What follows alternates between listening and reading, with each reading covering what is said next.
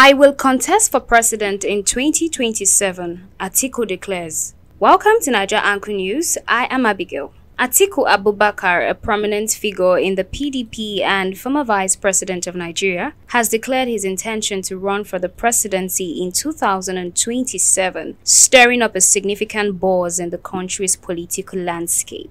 This announcement by Atiku came following discussions about a potential alliance between the PDP, Labour Party and other opposition parties in Nigeria. Atiku made his ambitions known during a recent interview, reaffirming his commitment to seeking the highest office in the land. After engaging in talks with Peter Obi, the Labour Party's flag bearer in the 2023 election, Atiku officially confirmed his bid for the presidency in 2027. Details of the meeting between Atiku and Obi were not fully disclosed, although speculations had been circulating regarding a possible collaboration between the two political figures. Abdul-Aziz Na'ibi Abubakar, a notable PDP member, corroborated this development with a post on his social media page accompanied by a video highlighting Atiku's presidential aspirations. Despite the confirmation of his candidacy for the 2027 presidential race, Atiku did not reveal who his running mate would be during the interview. This decision by Atiku to contest the presidency once again has garnered attention and sparked discussions among Nigerians, with many anticipating the unfolding political dynamics leading up to the forthcoming election. Atiku's strategic moves and alliances with the political sphere are seen as crucial steps towards achieving a common goal and shaping the future of Nigerian politics. Personally, Atiku Abubakar's declaration of intent to run for the presidency in 2027 has injected a new energy into Nigeria's political arena. His decision to seek the highest office once again signifies his determination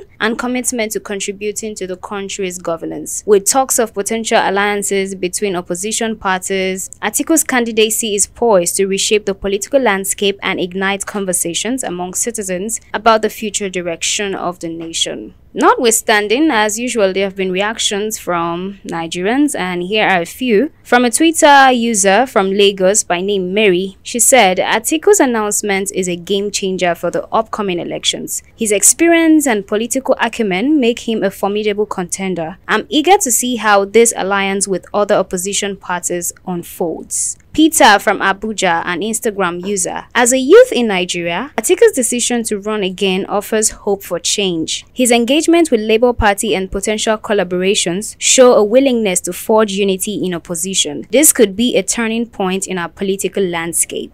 And lastly, from Mohammed, a Facebook user from Jos, Atiku's move to enter the race is not surprising, but his choice of running mate will be crucial. It's an interesting development to watch, especially in the context of growing competition in Nigerian politics. The dynamics are shifting and Atiku's candidacy adds an intriguing dimension. Thank you for staying tuned to Naija Anchor News. Do feel free to share your opinions in the comment section and of course subscribe to our YouTube channel for more news updates.